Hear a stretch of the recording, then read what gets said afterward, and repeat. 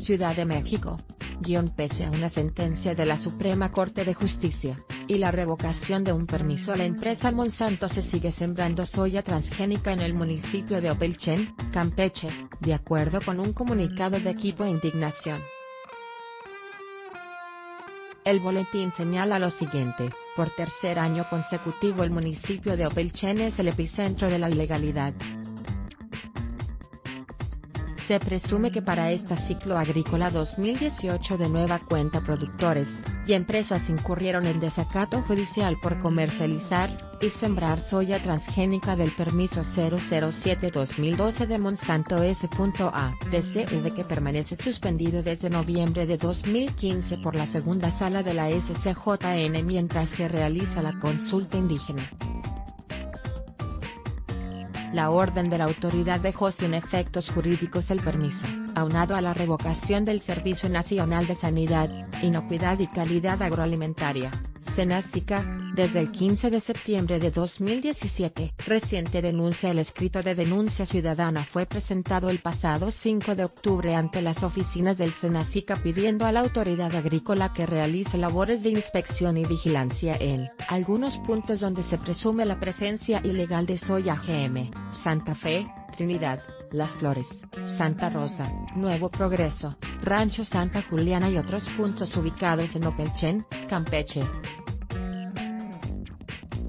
Se estima que este ciclo agrícola 2018 pretenden comercializar 120.000 toneladas de soya sembrada en más de 42.000, y se presume que gran parte es de la variedad transgénica.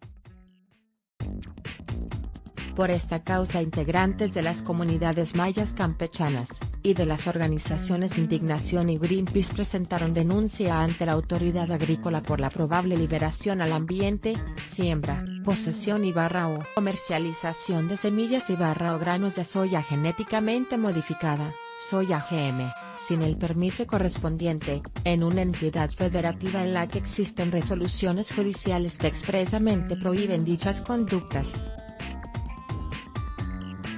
tercer año consecutivo por tercer año consecutivo, ante la mirada complaciente de las autoridades federales y, pese a la restricción para liberar el cultivo de semillas transgénicas en la entidad, se continúa sembrando soya genéticamente modificada de manera ilegal.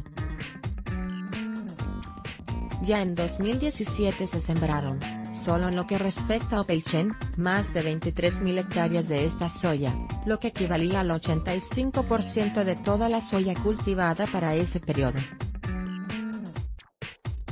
Durante 2016 el Senacica, dependiente de la Secretaría de Agricultura, Ganadería, Desarrollo Rural, Pesca y Alimentación, Zagarba, aceptó que se sembró soya transgénica en 16 predios del municipio de Opelchen, a pesar de las restricciones legales.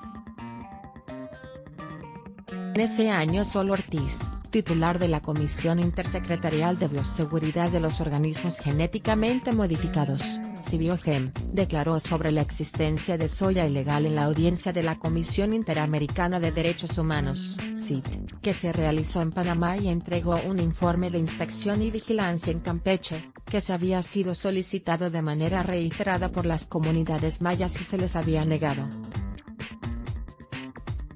denuncian incapacidad Estos hechos reiteran la incapacidad del Senacica, y la Cibiogen para garantizar la bioseguridad en territorio mexicano, señaló María Colín, vocera de Greenpeace. Lamentamos que sean las organizaciones y comunidades quienes realicen el trabajo de inspección, y denuncia que les corresponde emprender a las autoridades involucradas, negándose a reconocer que hay un grave problema de descontrol, y tráfico de semillas de soya transgénica en la región. Campeche es ejemplo de prácticas de siembra inseguras en materia de bioseguridad donde se opera al margen de la ley, añadió.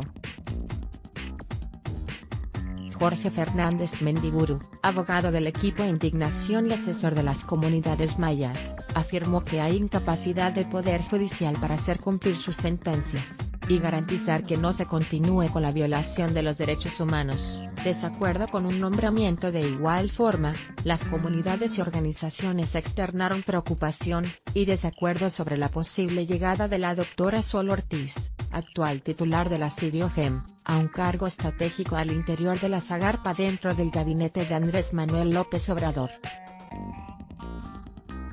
Unidades y organizaciones reclaman que las autoridades correspondientes actúen sin demora para la aplicación expedita de la ley, y de las sanciones a todo aquel que haya incurrido en la violación de la legislación nacional, en detrimento de la bioseguridad del país, y exigieron se proceda tanto al aseguramiento del material como a la identificación de los puntos de distribución, y barra o las rutas de ingreso de la soya genéticamente modificada. Las organizaciones alertaron que en caso de que las empresas y soyeros insistan en la comercialización y siembra de semillas de soya transgénica en Campeche podrían alcanzar multas de hasta 2.418.000 pesos por violaciones a la regulación de bioseguridad en México, pudiendo duplicarse esa cantidad en los casos de reincidencia.